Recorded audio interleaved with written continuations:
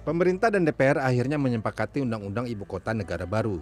Dengan demikian sudah dipastikan Ibu Kota Negara Baru akan berkedudukan di Pulau Kalimantan, tepatnya di Kabupaten Penajam Pasir Utara, Kalimantan Timur. Dari sisi pertahanan, sejatinya posisi Ibu Kota Baru ini bukan tanpa resiko. Sebaliknya, posisi Ibu Kota Negara Baru ini justru lebih terbuka dari sisi pertahanan. Secara geografis, Pulau Kalimantan memiliki perbatasan darat sepanjang 2.000 km dengan Malaysia.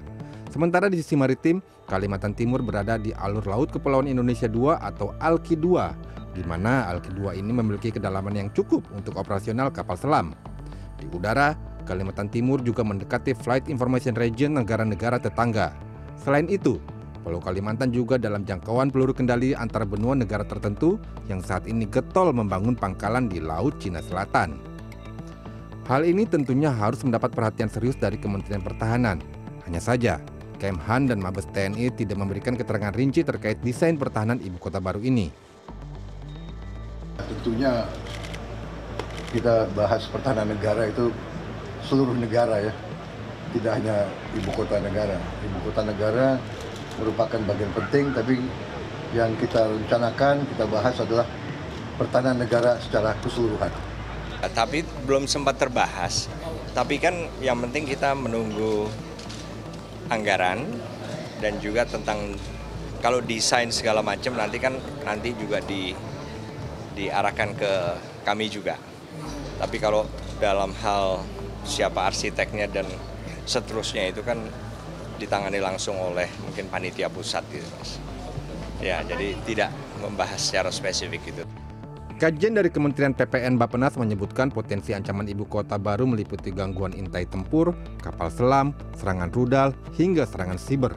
Selain itu, ada pula kejahatan tinggi yang mungkin dilakukan oleh aktor non-negara. Menurut dokumen Bapenas, selain pembangunan markas besar TNI, harus juga dibangun sistem pertahanan yang mampu melindungi ibu kota dari serangan darat, laut, dan udara. Karena itu nantinya akan dibangun Komando Sektor Pertahanan Udara Ibu Kota Baru Alutsistanya berupa radar dengan jangkauan minimal 400 km dan peluru kendali anti serangan udara. Sementara kajian Mabes TNI menyebutkan sebaiknya dilakukan pembangunan pangkalan udara baru tipe A yang mampu menampung skuadron tempur, skuadron angkut, serta skuadron angkut VIP.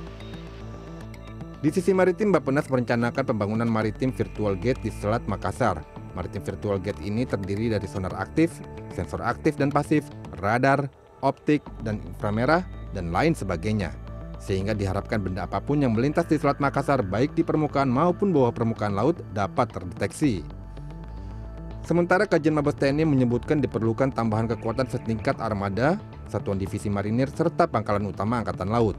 Di darat, TNI Angkatan Darat berencana membangun kodam pengamanan ibu kota. Isinya tentu lengkap dengan satuan-satuan infanteri, kavaleri, artileri, hingga zeni. Pembangunan semua sarana prasarana alutsista hingga personel dilakukan secara bertahap hingga tahun 2029. Untuk pembangunan berbagai sarana prasarana serta fasilitas personel, total anggaran yang dibutuhkan direncanakan mencapai 121 triliun rupiah. Sementara lahan yang dibutuhkan untuk membangun Mabes TNI dan tiga angkatan serta fasilitas pertahanan mencapai 6.575 hektar untuk menampung lebih dari 58.000 personel TNI. Pertahanan ibu kota haruslah dirancang sedemikian rupa sehingga sesuai dengan situasi dan kondisi geografis negara. Indonesia misalnya tidak menganut sistem pertahanan ibu kota model fortifikasi atau benteng. Ini disebabkan luasnya wilayah Indonesia sehingga jika terjadi keadaan darurat, ibu kota dan pusat pemerintahan bisa dipindahkan. Ya bisa aja ada pasukan di sana, pasukan di sana dengan satu tujuan, satu tujuan itu menahan pasukan lahan, pasukan lawan selama mungkin kemudian kita bisa melakukan mobilitas strategis itu, melakukan evakuasi VVIP itu. Jadi ya apa skuadron tempur udara menjadi wajib ya skuadron tempur udaranya atau uh, kapal perang ya untuk menahan armada lawan dan pasukan mekanik angkatan darat ya untuk menahan uh, laju pasukan darat lawan yang akan menguasai ibu kota lalu kemudian mobilitas strategisnya diutamakan ya untuk memastikan bahwa pemerintahan tetap berjalan, kendali operasional dari presiden, dari panglima ke pasukan tetap ada. Dengan kemajuan teknologi di mana pun ibu kota ditempatkan tetap memiliki resiko serangan militer. Meski demikian, ibu kota sebagai simbol negara tetap memiliki nilai strategis tinggi. Ibu kota negara bukan hanya merupakan simbol dari sebuah negara, tapi ia juga merupakan center of gravity dari negara tersebut. Karena itulah pembangunan ibu kota baru tentu harus memperhatikan aspek pertahanannya. Apalagi membangun pertahanan yang kuat dan mumpuni membutuhkan waktu dan biaya yang tidak sedikit. Tim Liputan, CNN Indonesia, Jakarta.